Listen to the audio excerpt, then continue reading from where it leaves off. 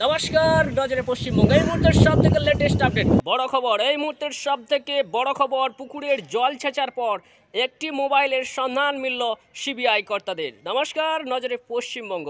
এই মুহূর্তের সব থেকে লেটেস্ট আপডেট যে জীবন কৃষ্ণ সাহা, মুর্শিদাবাদের চতুর বিধায়ক, মুর্শিদাবাদের বড়োয়ার তৃণমূল বিধায়ক জীবন কৃষ্ণ সাহা শুক্রবার যখন তদন্ত চলছিল তার বাড়িতে, অর্থাৎ সিবিআই কর্তারা দুপুর থেকেই তার বাড়িতে তন্ন তন্ন করে তদন্ত চালিয়েছিলেন এবং তার বাড়ির সমস্ত লোকজনও তার ফোনগুলি সিজ করার ব্যবস্থা হচ্ছিল।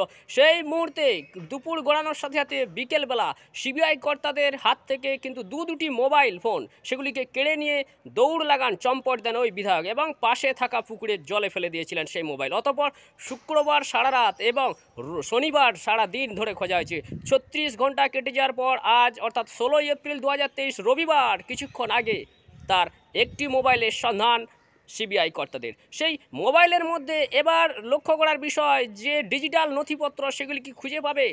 তার হার্ড ডিস্ক কি সম্পূর্ণভাবে সঠিক রয়েছে? নাকি সেই মোবাইলের সমস্ত যে নথিপত্র বা তার ভিতরে যে হার্ড ডিস্ক রয়েছে, সেই তথ্য সব খারাপ হয়ে যাবে। সেটা অবশ্যই চিন্তার বিষয় কারণ ছত্রিশ ঘণ্টা কেটে গেল।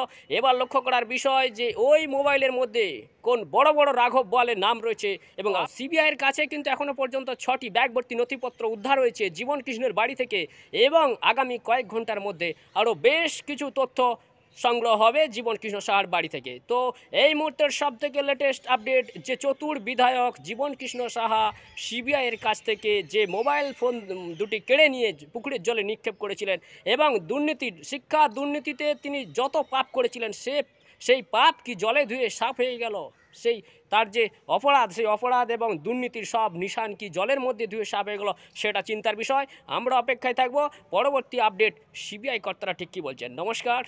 নজরে পশ্চিমবঙ্গ